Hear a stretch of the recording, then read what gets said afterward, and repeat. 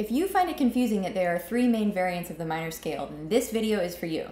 Maybe you can never remember which is which, or maybe you don't understand the point of learning all three of them, but today we are going to break through all of that confusion and you will learn what the diatonic chords are of each of these different scales, why we need to know all three of them, and how we can actually use them in our playing. So, why are there three variants of the minor scale? Well, we have to remember that a scale is just a melody. It's a series of notes that has a particular sound, and over time, composers and musicians have changed certain notes in the minor scale to achieve a specific sound they're looking for. By changing certain notes in the minor scale, we change the color and the style and the sound of the scale. The natural minor scale is sort of like our default minor scale. Now, I'm not saying it's the most important or the most commonly used minor scale. I'm just saying that you can think of it as our default minor scale. So first let's look at how the natural minor scale differs from the harmonic minor scale.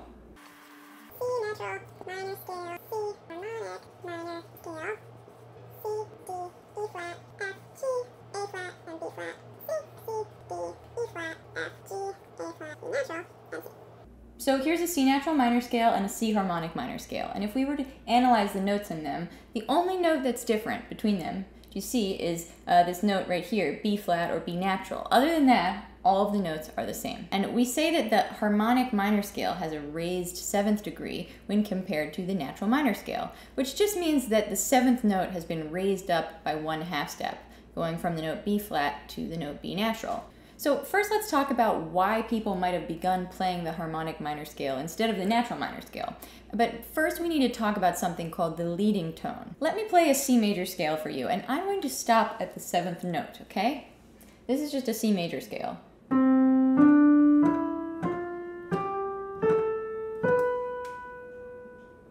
Can't you feel how badly you want the scale to resolve back to the C at the top?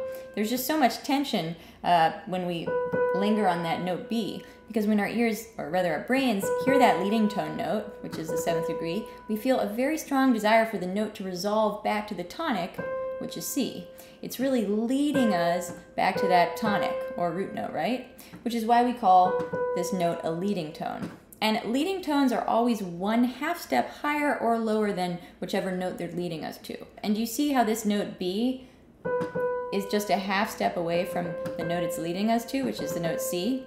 So see they're one half step apart. And that's why the seventh degree of a major scale is referred to as a leading tone. So in a major scale, we have this nice leading tone seventh degree, right?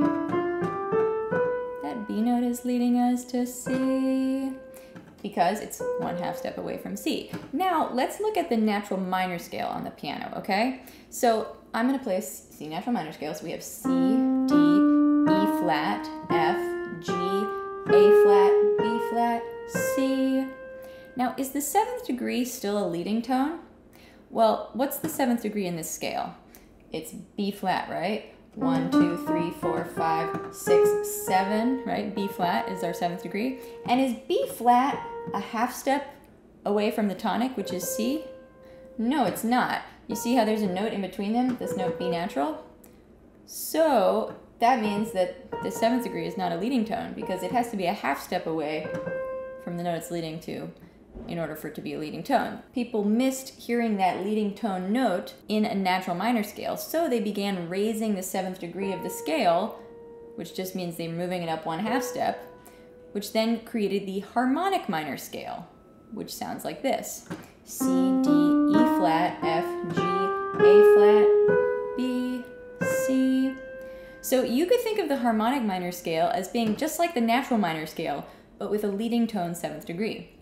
So we just take that seventh degree of the natural minor scale and saying, ah, oh, I wish this could be a nice leading tone. Then we're just gonna shift up a half step and voila. Now, that's one reason why someone might prefer using the harmonic minor scale over the natural minor scale. But there's another big reason, and that is because of the diatonic chords it creates. Okay, so first let's quickly discuss what are diatonic chords. You can think of diatonic chords as being a close family of chords that are connected to a certain key. So if you're playing a song in a certain key, there's a good chance you will hear some of those diatonic chords that are connected with that key in the song. Will you hear other chords? Most likely, yes. The same way you don't just talk to your family members all the time, you also probably socialize with coworkers and friends, and it's the same way with diatonic chords. The diatonic chords of a key are just like the close family member chords of the key. So a song will most likely include some diatonic chords from its key, but it will also use some other chords from other keys too. And each diatonic chord has an important role it plays, harmonically speaking, within the key. For example, the root chord of a key has a pretty important role, I'd say. What I mean by that is, if we were in the key of A major, the chord of A major is one of the diatonic chords of the key of A, and it happens to be the root chord of the key. Make sense? You know, A major chord is the root chord of the key of A major. Nothing too crazy going on here yet. So the root chord is one of the diatonic chords of the key. So let's talk about its role or job position. Because remember how I said every diatonic chord has a specific job or role that it plays within the key? So what does the root chord do? Well, it's the center of gravity for the key. Everything we hear in that key is ultimately leading us back to that chord. It's like the home base. You know, when we hear that root chord, we feel a sense of resolution and home. And no matter what key you're in, the root chord will be doing that job. Another really important diatonic chord is the chord we get from the fifth degree of the scale, which we refer to as the dominant. The same way people refer to the first degree as the root or tonic, we also refer to the fifth degree as the dominant. So why is the dominant so special? Well, it has a very powerful pull back to the tonic. When you hear that dominant chord, you really want to hear it resolve to the tonic or root. Um, and that relationship between the tonic and dominant is so important that it's arguably the most important harmonic relationship in all of music. That connection between the one and the five, the root and the dominant. So the job of the dominant is to lead us back to the root. For example, in the key of C major, G is the dominant, right? And when you hear it, you feel a really strong pull back to the root of C, right? You can hear it with the chords too. For instance, if I play a G major chord, it really wants to resolve back to the chord C major, right? There's tension, it feels like unresolved, and then it really is leading us back home to that root or tonic. Now, diatonic chords are made up entirely of notes in the scale that it's connected to. To show you this, let's figure out the notes in each diatonic chord in the C natural minor scale, okay? So let's just look at the C natural minor scale, okay? So here's our C natural minor scale, and we're going to turn every single note in this scale into a chord, okay? So our first chord is going to start with the note C, okay? Because each note is going to turn into its own chord. So this this chord is going to start with the note C. This one is going to start with the note D. One's going to start with E flat. This one's going to start with F. This one's going to start with G. This one's going to start with A flat. This one's going to start with E flat. And then that's all we need to do because we just repeat. We, we already did C. So these are the root notes of each of the diatonic chords. But what are the rest of the notes in these chords? Well, we just move up the scale in thirds to create the chord. And what does that mean? Let me just show you because I think it's easier just to show you. So this first chord, we know, we know it's starting on the note C, right? Then we move up a third in the scale, and if we move up a third from C, we get to the note E flat. So that means E flat is the second note in this chord, okay? So I'm gonna write C, and then I'll do E flat, okay? Then we move up another third from E flat, and we get to the note G. So that means G is the third note in this chord, okay? So we have C, E flat, and G, like that. And voila, we have figured out the notes in the first diatonic chord in this C natural minor scale.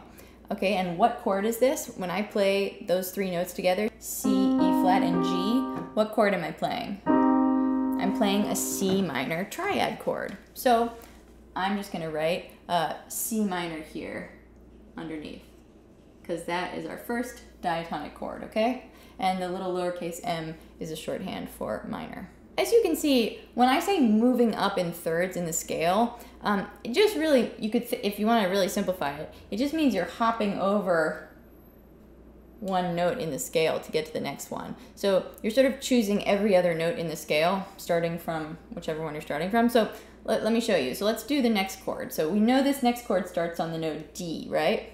So, and to find the next note in the chord, we're gonna just move up a third, or we could think of it as just, just hopping over the next note. Um, and so if we do that, which note do we get to? So we go from D, we hop over the next note, and we land on F, right? So F is the next note in the chord. So we have D, and we have F, and then we have one other note. So after F, we skip over the next note, right? We're gonna hop again, whoo, like a bunny rabbit, and land on A flat, right? So A flat is the next note in the chord. So we have D, F, and A flat, all right? So um, that's what I mean by moving up in thirds. So what chord is this? When I play D, F, and A flat together, D, F, and A flat, what chord is that? That's a D diminished chord, okay? So that means D diminished is our second diatonic chord in the C natural minor scale, okay? So, right, D diminished. And that little circle is a shorthand symbol for diminished, okay?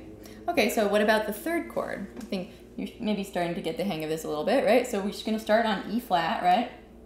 And we hop over the next note, so E flat, we move up a third, we get to the note G, right? So next note is G. Then after G, we hop over another note, we get to B flat, right? So we have E flat, G, and B flat. And what chord is that? When we play E flat, G, B flat, so E flat, G, B flat, that's an E flat major chord, okay? So this is E flat. That is our third diatonic chord in C natural minor scale, okay? What about the fourth chord now, okay? We have F, then we skip over one, we get to A flat, right? F, A flat, and we have one other. Okay, after A flat, we jump again, we get to C. All right, what chord is that when we play F, A flat, and C? Here's F, A flat, C. That is F minor, okay? Again, I'm just gonna do a little lowercase m for minor. So that's our fourth diatonic chord is F minor. All right, what about the fifth one? Starting on G, right? We've got G, we move up a third or we just hop over, we get to B flat, right? Okay, and hey, what about this next one? Like the scale ended, right? So where do I go? Well, you just pretend like you're back at the beginning again. So if I were on B flat and I hopped over the note C, here's my C again, I would land on D, right? Because this is redundant. We don't actually need to write this last C, right? So after uh, B flat, I jump over the C and I get to D. So we've got G, B flat, and D. And what chord is that when I play G, B flat, and D? G, B flat, D. It's a G minor chord, right? So I'm gonna write G minor. All right, that was our fifth chord. What about the sixth chord? We've got A flat, right? Then after A flat, we skip over B flat and we land on C, right? Because after this B flat was C, right? So we have A flat, C, and then skip over again, we get to E flat, right? So just moving up in thirds. And what chord is this? A flat, C, and E flat. When I play those three notes together, what chord am I playing? A flat, C, E flat. That's an A flat major chord. So. A flat, okay? And last but not least, the seventh chord. I've got a B flat, right? And then after, if I skip over the next note, I land on B flat, you can imagine it being here. Get to D, right? And after D, I skip over another and I get to F. And what chord is this? B flat, D, and F. Ready? B flat, D, B flat major. So B flat major.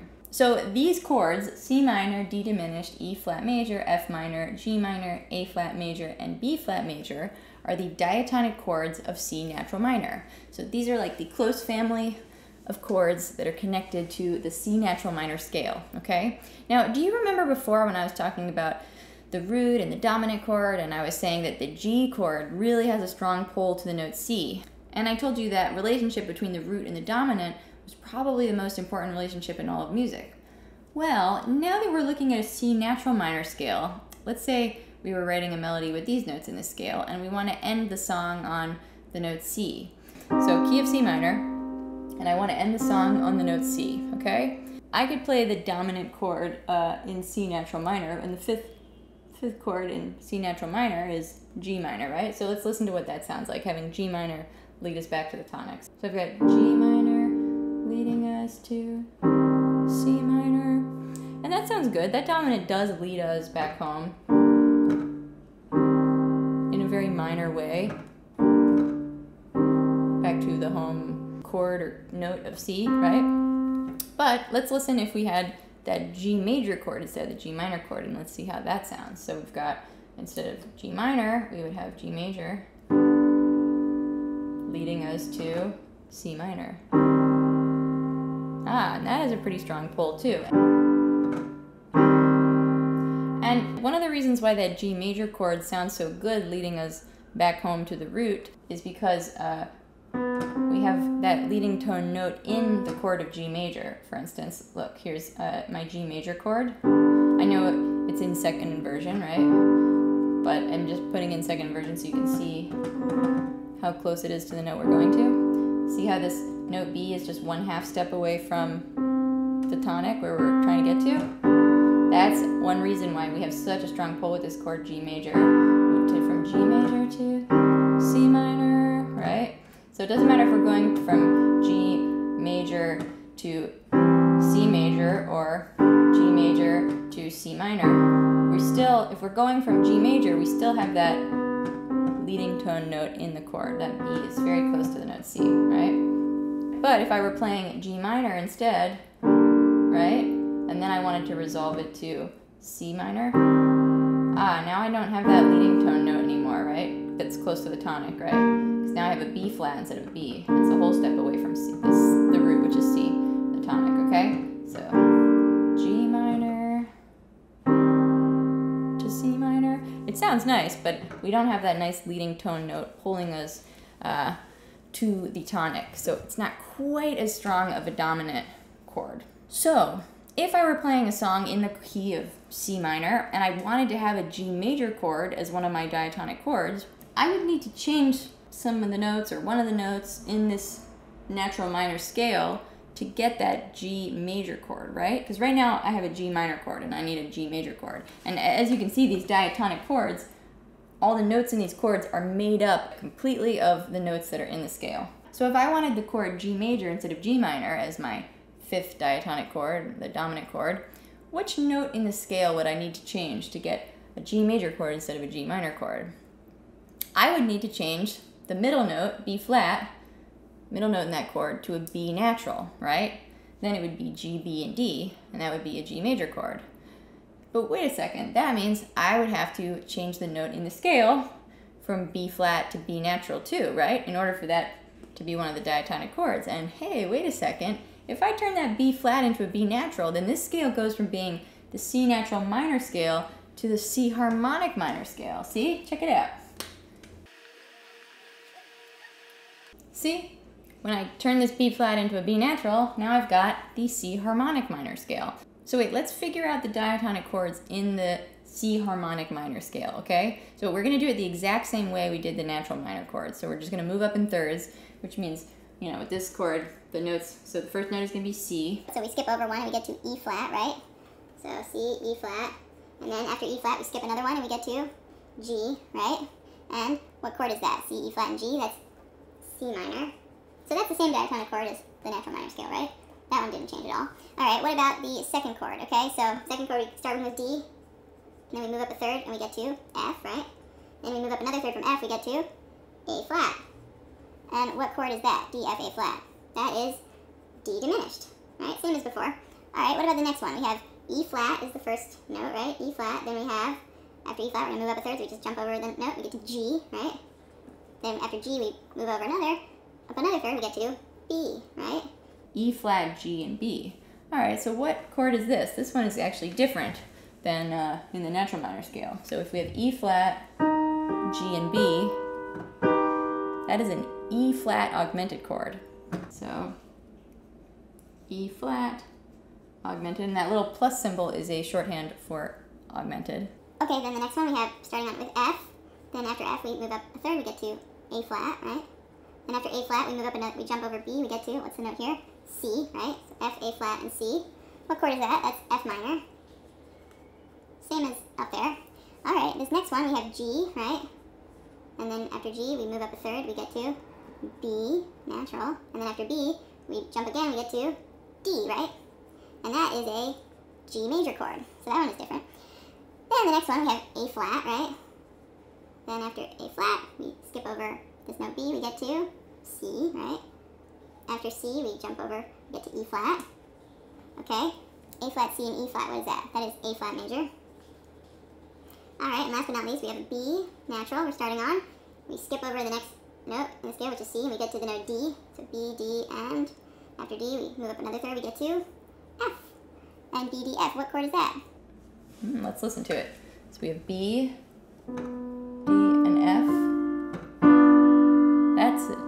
1, this is b diminished. So b diminished, again I'm gonna do a little circle shorthand. And hey, these are our diatonic chords in the C harmonic minor scale. We have C minor, D diminished, then E flat augmented, F minor, G major, A flat major, and B diminished.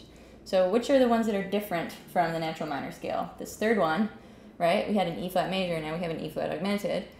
This fifth one, right? We had a G minor, now we have a G major. And then the seventh one, we had a B flat major, and now we have a B diminished. So hey, check it out. We have different diatonic chords depending on whether we are using the natural minor scale or the harmonic minor scale. So some of them are the same, but some of them are different, right? So this is a big reason why someone might want to use the C harmonic minor scale instead of the C natural minor scale in a song because they get different chords from the scale. And that G major chord can be really powerful when leading to the note C. Now, this brings us to the melodic minor scale because melodic minor scale has its own set of diatonic chords. So let's just look at those quickly. So first let's write out a C melodic minor scale. So let's figure out the diatonic chords of C melodic minor because here's my C melodic minor scale. Okay, so, um, and you see what's the difference between C melodic minor and these other two? Harmonic minor has just a raised seventh, and melodic minor has a raised sixth and a raised seventh when we're comparing them to the natural minor scale. Okay, so let's figure out the diatonic chords. So this first one starts with C, move up a third, we get to E flat, right? C, E flat. Then after E flat, we get to G. All right. What chord is that? That's C minor. Same as the other guys. All right. Next one starts on D. Then we have D. After D, we have F. Then after F, we have A. All right, what chord is that? D, F, and A. D, F, A. It's a D minor chord. So, got D minor. This one is different. Because Before we had D diminished, now we have a D minor chord. All right, next chord, we have E flat, right? Then what, what comes after E flat? E flat, then we have G. Then we have, after G, we have B. E flat, G, and B. What is that? That is an E flat augmented chord. So same as in the harmonic minor scale, same chord. All right, next chord, we've got F. After F, we move up to A. Then after A, we move up to C. So this is an F major chord. This one's different, right? Before we had F minor, now we have F major. See, F, A, C, F major chord. All right, what about the fifth chord? So we start with a G. After G, we get to B, right? And after B, we get to, we skip over the C, and we land on the D, right? And this is, what chord is that? That's a G major chord. Same as in uh, the harmonic minor scale, right? And this one is going to start on A, so this one is definitely going to be different. So after A, we skip over B and we land on C, right? After C, we jump again, we get to E flat. A, C, E flat. What chord is that? Let's listen. That is an A diminished chord. And last but not least, we have B, after B, D, after D, F. That is a B diminished chord.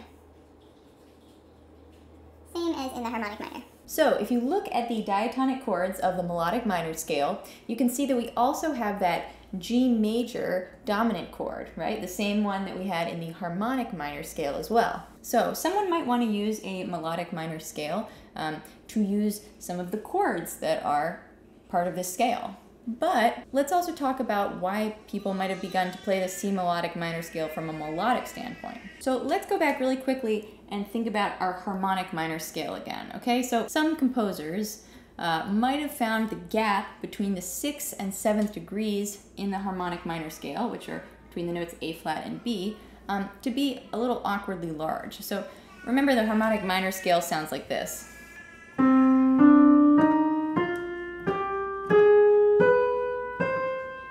And that large interval uh, between the notes A flat and B, uh, which is an augmented second, um, it's quite a big distance. And, you know, of course, many composers have used this augmented second interval in the harmonic minor scale in their compositions and enjoyed it, obviously. But others, I think, wanted to maybe eliminate that large gap because they found it difficult to navigate, especially with vocal music and writing nice melody lines. So um, the only way you could eliminate this large gap, and I'll, let's listen to it just one more time so you can hear it. So there's that large augmented second interval, and then back to the root again. So the only way we could make this distance between the sixth and the seventh note, or this interval smaller, is by lowering the seventh and, and if you do that, then you're just going to be back at the natural minor scale, right? If I lowered the seventh, I would be C, D, E flat, F, G, A flat, B flat, C, right? That's the natural minor scale. So that's one way I could make that interval distance smaller. But another way we could make this interval distance smaller between the sixth and seventh degree uh, is by raising the sixth degree as well. So this A flat turns into A natural. And check it out, that is the melodic minor scale. So see C, D, E flat, F, G, A, B, C. So the melodic minor scale has a raised sixth and seventh note, um, and we get both the leading tone, note of B natural, which leads us back to C, and we've eliminated the large augmented second interval by also raising the sixth degree from A flat to A. Does that make sense? I hope so. If you're still confused by that, let me know in a comment below and I'll try to make another video that elaborates on this a little further. But let's go back to the diatonic chords now. So as you can see, the diatonic chords of a minor key are a little bit more complicated than a major key, right? Because for a major key, we just have seven diatonic chords. But when we talk about the diatonic chords of a minor key, we suddenly have way more, right? We actually have a total of, well, you can try counting if you want, but uh, it's a total of 13 different diatonic triads in a minor key. For instance, if I'm playing a song in the key of C minor, just, just regular old C minor key, there are 13 different diatonic triads I could use. By the way, a triad is just a chord with three notes. We also have diatonic seventh chords, but I'm not going to get into that in this video because otherwise this video will go on forever, and I will cover them in another video. By the way, if you are enjoying this video, don't forget to give it a thumbs up and leave a comment and share it with a friend. So if you are improvising or writing a melody over a chord progression and you come across a B diminished chord in the chord progression, um, here's a B diminished chord, right? We also have one in the harmonic minor scale, but we're just going to focus on this one right now that's in the melodic minor scale. Um, you could say, hey, that B diminished chord is a diatonic chord of C melodic minor. Therefore, I could play the notes in the C melodic minor scale over that chord and it could sound nice. So let's listen to what the C melodic minor scale sounds like while I'm holding a B diminished chord.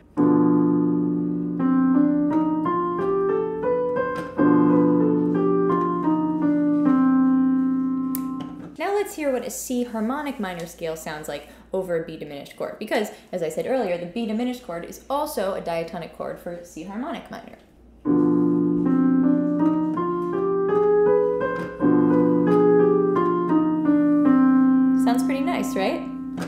Now let's listen to a C natural minor scale over a B diminished chord.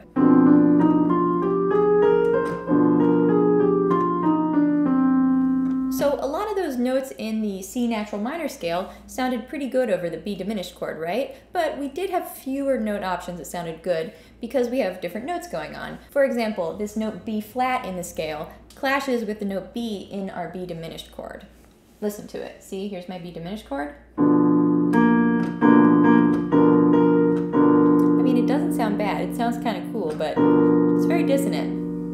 Look at another one. Let's listen to an F minor chord, okay? So here's my F minor chord.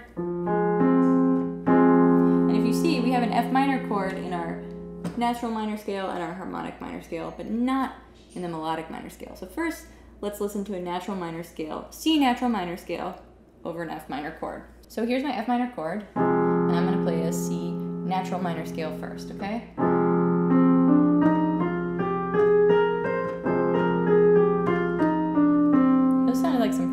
Options, right? A lot of those notes sounded very nice with that chord. Now let's do a harmonic minor scale with this F minor chord. A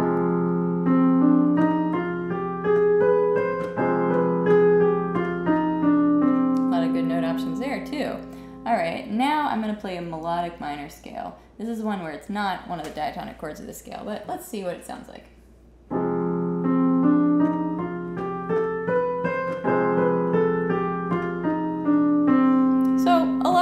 Notes did sound good. And why is that? Well, because a lot of the notes are the same in these scales, right? There's only one note that's different, right? Between these two scales, we just have this A instead of the A flat.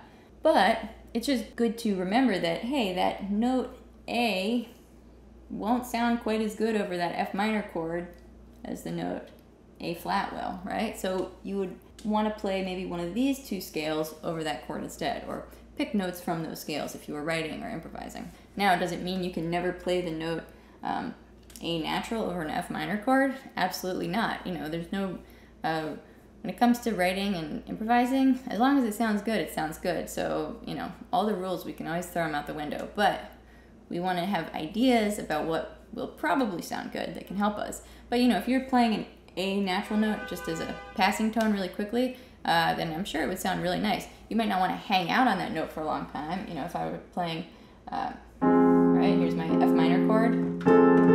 This really clashes to, to play that A natural note, right? I sounds better to play A flat, right? But if I was just running through it really quickly, it could sound cool. So I'm just just play that A natural for just a second, but I wouldn't I wouldn't want to hang out there for long. So at the end of the day, no rules. As long as it sounds good, it sounds good. But we learn the rules just so we have good ideas and uh, good instincts about what to play. So basically, if you look at the diatonic chords of the three minor scales, then you can play each of these scales over all of the diatonic chords that are connected with them. For instance, you could play the notes in a C harmonic minor scale over any of these chords, and it will probably sound pretty nice.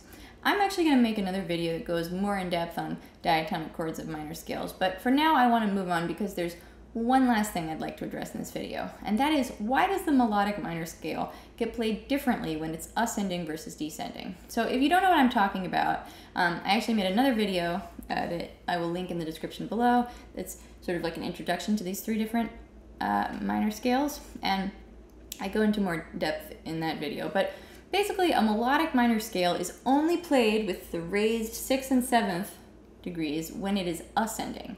So it's descending, it just turns back into the natural minor scale. For example, if I played a C melodic minor scale, both ascending and descending, it would sound like this. C, D, E flat, F, G, A, B, C, and then if I'm descending, C, B flat, A flat, G, F, E flat, D, and C. So I played these notes when I was ascending, but when I was descending, I played those notes. I went back to the natural minor scale. So, why? Well, when we play a scale descending, um, then the seventh degree is no longer resolving to the tonic, right? Check it out. I'm going to play um, the C melodic minor scale ascending first, okay? So if I'm playing ascending, then I play the B first, right? Before resolving up to the C. So when I'm ascending, to want to have that leading tone note to lead us up to C, right? But if I'm playing it descending, then I'm playing the C first and then I'm playing the B, it's no longer acting like a leading tone. So because we only need the leading tone when the scale is ascending, that's why when it's descending, it just goes back to the regular old natural minor scale because we no longer need this uh, leading tone because it doesn't matter going if I'm going down. All the leading tone only counts when you're leading from the leading tone to the tonic, right? So I'm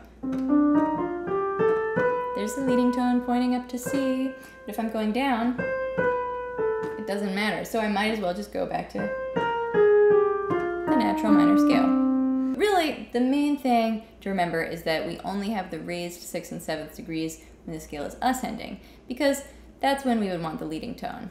And you might still be wondering, okay, I get that when we're descending we don't need a leading tone, but why do we bother switching back to the natural minor scale? What's the point of it?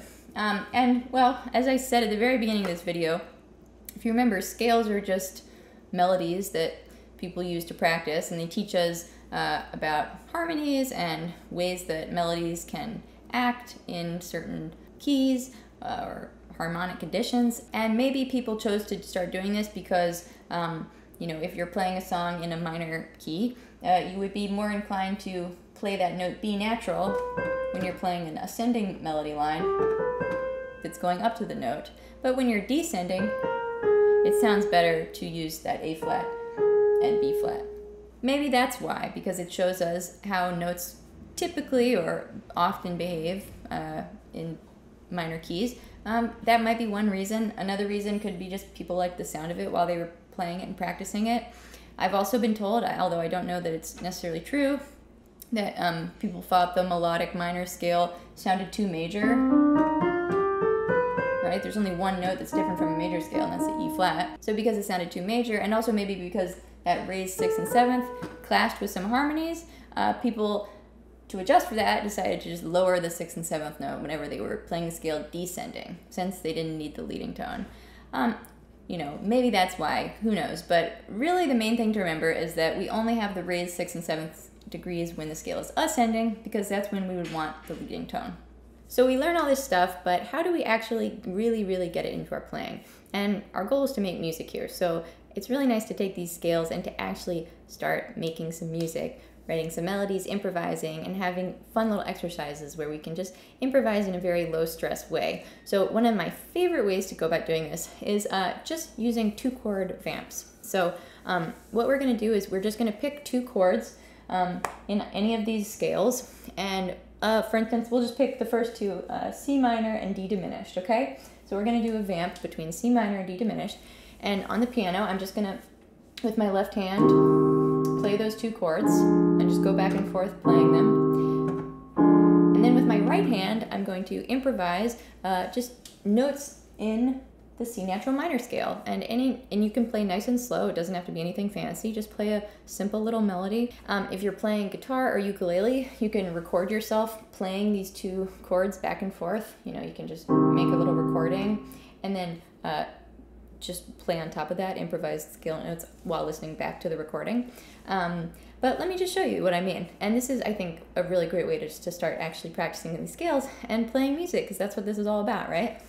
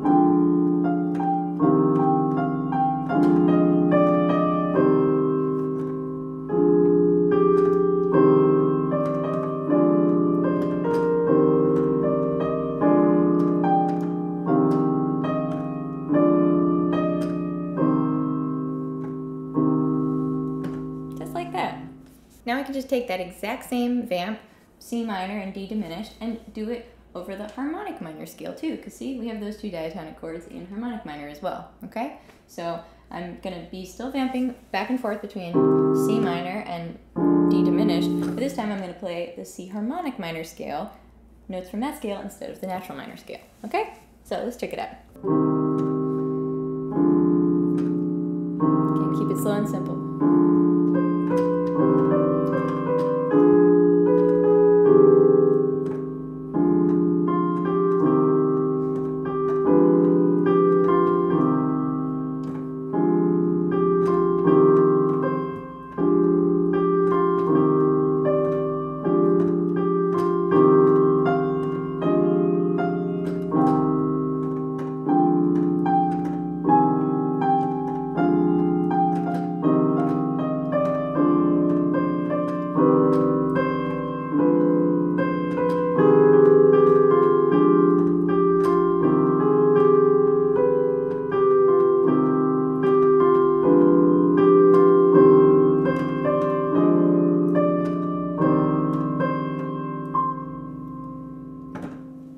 Doesn't have to be anything profound. Just have fun and noodle around and just practice your scales this way. And just what, so you know, while you're playing and improvising like this, sometimes you might hit a wrong chord accidentally. You know, maybe you'll accidentally play C major or uh, D major instead of D minor.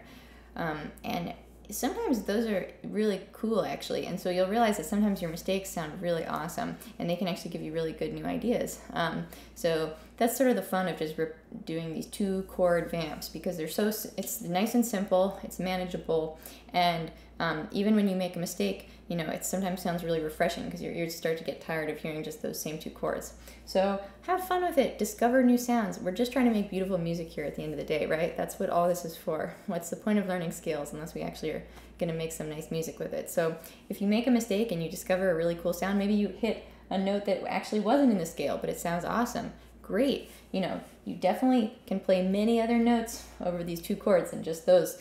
You know, these are just exercises. So um, keep your keep your ears open to those mistakes, embrace them, and have fun. That is the most important part. Have fun. At the end of the day, scales are useful to us because, sure, they help us with technique, um, but they also help us understand how to write and play beautiful melodies, chords, and harmonies. And we can adjust the notes in these scales to help us achieve the sounds we're looking for. The reason why you might practice playing these three different scales on your instrument is because it's teaching you the different ways melody notes behave in minor keys. So the melodic minor and harmonic minor scales are really just helpful tools that show us how the sixth and seventh scale degrees can be raised sometimes in minor keys when we find it helpful to have those notes. And knowing these three different scales separately helps us understand which notes to play over certain chords when we begin to analyze the diatonic chords of each minor scale. As I said earlier, I'll be making a video about diatonic chords of minor scales later down the road, so stay tuned for that. And when I do, I will try to remember to post a link to it in the description below here. If I forget to post the link in the description, comment and remind me, please. Um, and that is all for today. I hope you guys found this video helpful. If you're new to my channel and you'd like to see more videos like this, don't forget to subscribe and turn on the bell notification so that you actually will know when I post a new video. Um, I post a video once a week and I would love to have you here. And if you want to practice what we learned in this video, I have printable PDF practice materials as well as some video summaries and a link in the description below. So if you like this video, give it a thumbs up, leave a comment, and a special big thank you to my Patreon supporters who make it possible for me to make these videos. That is all guys, thank you so much for watching, see you next week, and have a wonderful rest of your day or night.